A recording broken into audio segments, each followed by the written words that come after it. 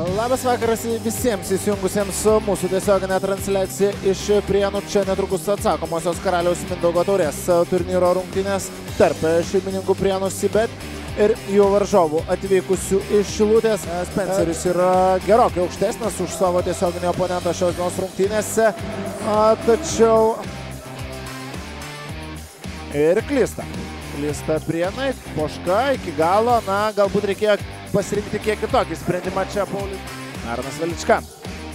Varnui, šis iš trijų taškų zonos ir Martinas Savarnas smeigia. Astonas. Krinta į akis kol kas tai, jog Šilutė labai greitai pereina į varžovų aikštės pusę, o čia... Poška. Tarsi išgirdęs mano žodžius apie tai, jo gali pataikyti iš trijų. Prie Simonas Rapinas. Alanostrumas. Ar dar viena galimybė mesti iš trijų taškų zonos.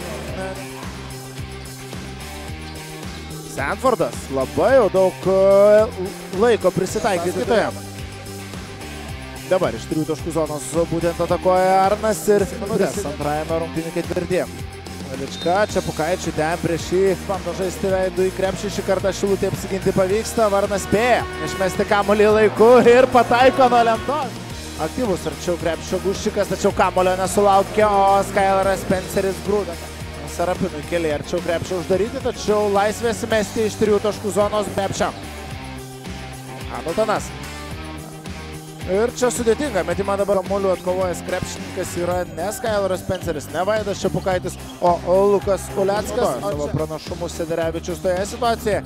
Klystas į bet, Sanfordas, geras ir savalaikis jo perdavimas, o galiausiai pačiam. Hamiltonas ir Sederevičius netrukus pasirodys Šilutės penkete, o čia praėjusią ataką metų. Na, Šilutė šiemet nebėra. Na, ta vieno žaidėjo komanda čia tikslumo. Arnas Velička pabandė kabinti kamolį Guščiukui, o dėjimas kitoje.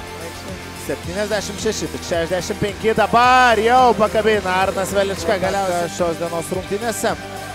Mankauskas iš trijų taškų zonos ir Višnaitė ant tordo čia persvarą laimėjo prieniečiai, taigi bendrame rezultate daugiau įtikinama prienusi, bet pergalė ir